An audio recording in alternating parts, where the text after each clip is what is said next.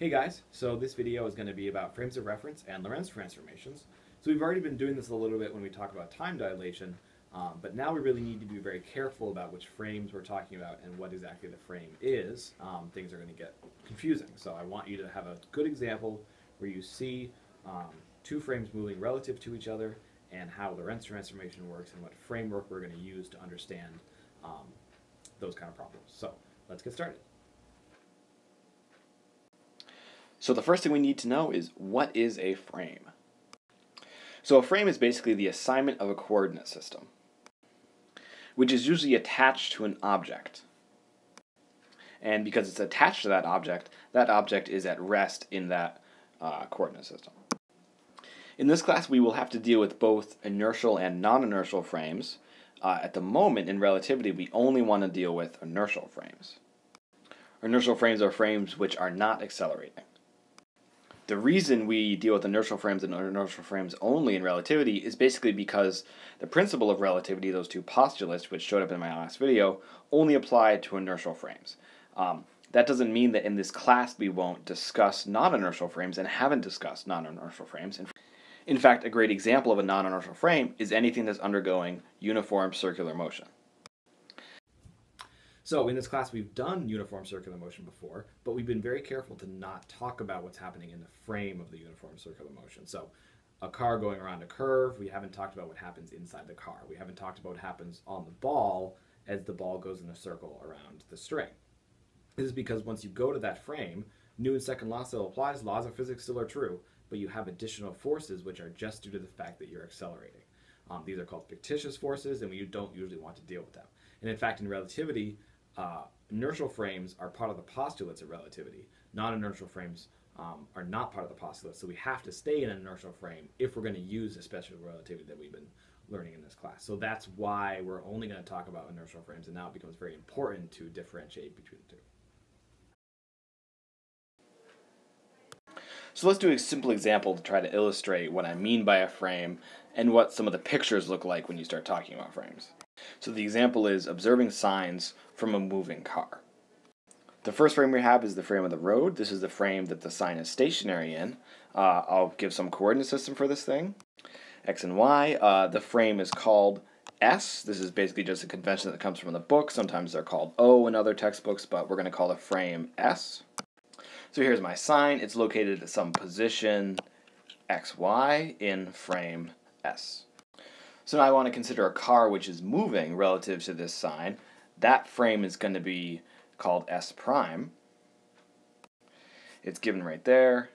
I want it to be moving in that direction with some speed v, and the coordinates in that frame are not going to be the same x and y, they're going to be a different x and y. Let's just call them x prime, y prime for the moment. So what is happening to this the sign in the frame of the car?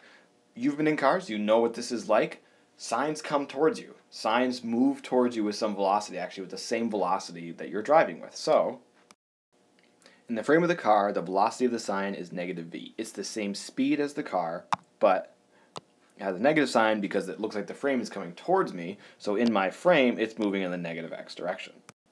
So then I can ask what is the x and y position in each frame of this sign? Well, in the fixed frame, the sign isn't moving, obviously, relative to the road. The sign isn't moving on the roadside. So x and y are constant, but x and y might be changing in the frame that's moving, and so the transformation law for that is that this is called the Galilean transformation. This is named after Galileo, of course. For Galileo and his contemporaries, the time was an absolute. Time in different frames was an absolute concept. This is before Einstein came along and shook things up. Um, like we talked about in the time dilation video. But of course, you could have probably just figured this out on your own. The x position in the frame of the car has to be decreasing because the sign is getting closer and closer and closer to the car.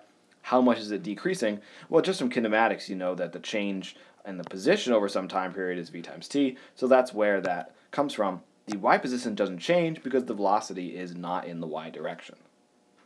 So that feature is actually going to hold true in Lorentz transformations as well, but this is not going to be the right form for a Lorentz transformation. And at this point, I think I'll just write down the Lorentz transformation so you can see the difference between the Galilean one and the Lorentz one. So here's the Lorentz transformation. You can see it's the same as the Galilean transformation, but times this factor gamma. And then also the time is not the same. We can write the uh, time transformation in the Galilean ones. t is t prime. The time is absolute in a Galilean transformation, so it doesn't change.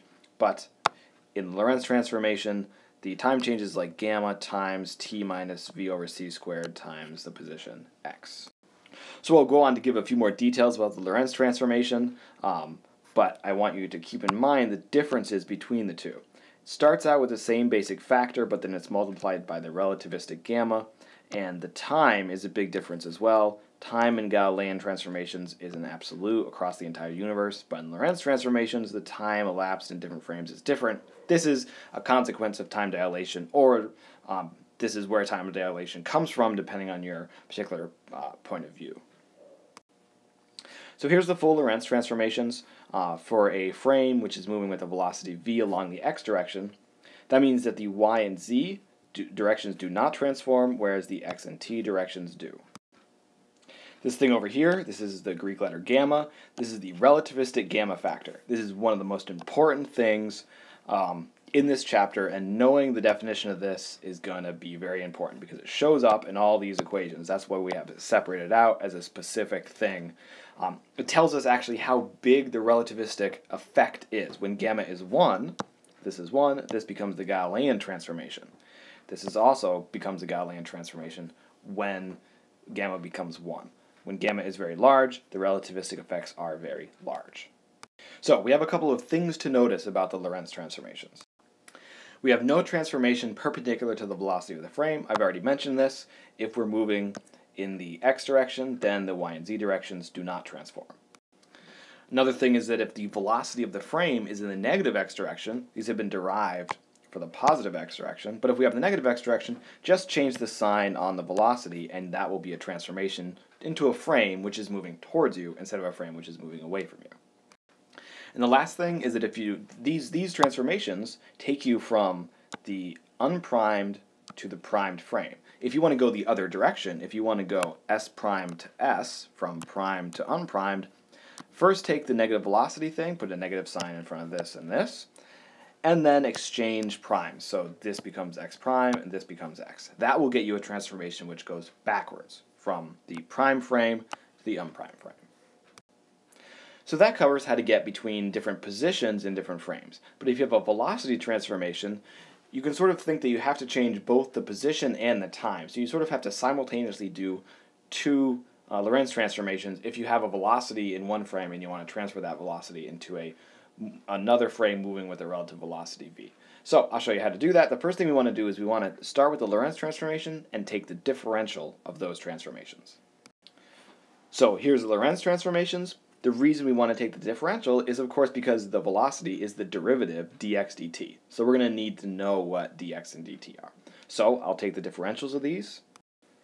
If you don't like how I've taken these uh, differentials by just taking dx prime without some taking the derivative with respect to something. You're going to have to trust me on this, but this is just a, a small value of dx prime, and it's given by gamma times the small value dx minus v times the small value dt. But the reason that we're going to do this is because the definition of velocity is dx prime over dt prime. And if we just start plugging stuff in, we can figure out what the velocity of some object is going to be in a moving frame. So there's the first step. This is just going to be some algebraic manipulations. And for this step, I've just taken this dt and moved it to the top. That kills this dt and makes this dx over dt. Well then, we now have dx dt. That's the velocity of the object in the original frame. So we get our final answer for uh, the velocity transformation formula for frames which are moving very close to the speed of light. Starts with the velocity in the first frame. V is the velocity of the moving frame, and then this gives you the velocity of the object in the moving frame. This is equation 911 in your textbook. So this is kind of a complicated formula. I don't necessarily expect you to be able to derive it in the way that I've done here, but you should be able to use it. If I give you a frame and I give you an object moving in that frame, and I give you some other frame which is moving, sh you should be able to tell me what the velocity of the object is in that new frame. This can get very confusing. We'll do some examples in class to make sure that you can kind of get it. two things to note. Since this thing was derived using the Lorentz transformations, the same deal goes for the velocity if the frame is moving in the opposite direction. Just throw a negative sign in front of the velocity, and these things become positive. And the other thing to notice is that if the velocity of the object in the frame gets close to the speed of light, then the transform velocity in the moving frame must also go to the speed of light. That's essentially just a result of the postulates of relativity, and that is um, when something moves at the speed of light in one frame, it moves at the speed of light in all frames. So if you do the transformation, then in one frame, if it's very close to the speed of light, then in the other frame, it should also be at least very close to the speed of light. Okay, that's all I wanted to say about frames and Lorentz transformations. Thank you guys for watching, and I will see you in the next class.